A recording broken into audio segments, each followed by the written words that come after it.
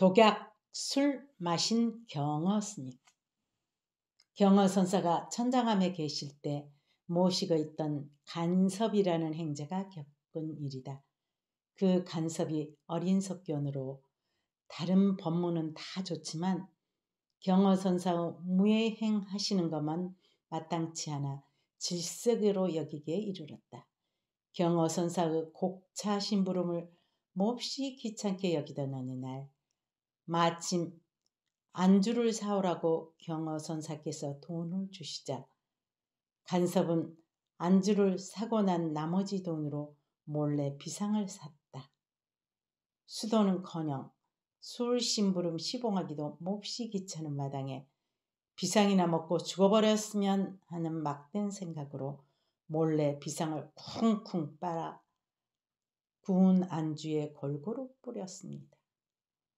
그리고는 술과 안주를 경어 선사께 천연스레 갖다 드렸다.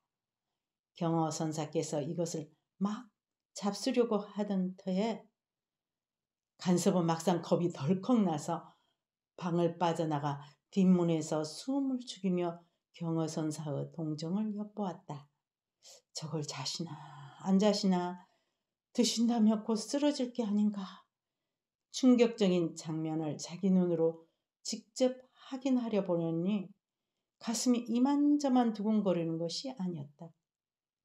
경어 선사가 곡차를 한 잔 쭉 따라 드시고 안주를 드시기 시작하자 뭔가 버석버석 입안에 씹히는 것이 있었다. 그러자 그 씹히는 것만 차례로 골라 털어버리고 아무 말 없이 그대로 드시기를 계속했다. 그렇게 남김없이 맛있게 끝까지 다 드시고는 아, 참 잘 먹었다 하시는 게 아닙니까? 돌아가시기는 커녕 비상에도 끄떡하지 않았다. 이 무심도인의 경결을 육안으로 지켜본 시봉은 기적 같은 일에 겁도 나고 무서워서 이 사실을 가슴속 깊이 숨겨두고 있다가 후일 망공 스님께 자진하여 자신이 저지른 일을 고백하며 참회하고 용서를 빌었다. 경어선사는 비상인 줄 알면서도 놀라지 않고 끝까지 맛있게 다 드셨고 다른 사람에게 이런 사실을 전혀 말씀하시지 않으셨다. 경어선사는 천장암에서 조금 떨어진 골짜기의 작은 초가 암자인 지장암에서 겨울을 지내기로 결심하셨다. 하지만 지장암은 수리를 하지 않아 벽 사이에 틈이 벌어지고 문창이 뒤틀린 고옥이었다. 그런 낡은 암자에서 한 겨울을 지내게 된 경어 선사는 추위와 바람을 막기 위하여 함경을 뜯어서 문도 바르고 벽도 발라 도배와 장판까지 손수 말끔히 하였다.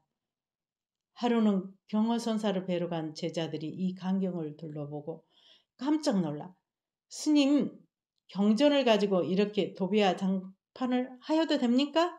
하고 여쭈니 경원선사는 태연하게 자네들도 이러한 경계에 이르면 이렇게 해 보게나 하고 대답하셨다.